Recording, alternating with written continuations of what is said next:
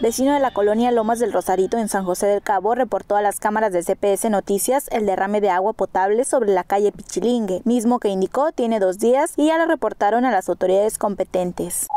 Dos días tiene. Este, ahorita este, pues nomás está esa, no, no hay otra. Para acá, para este lado también este, ha habido muchas veces, pero ahorita no. Sí, nosotros la reportamos este, al agua potable y ya bien arreglan y, y se compone ya la cosa. Con imágenes de Julio Parra para CPS Noticias, Esmeralda Campo.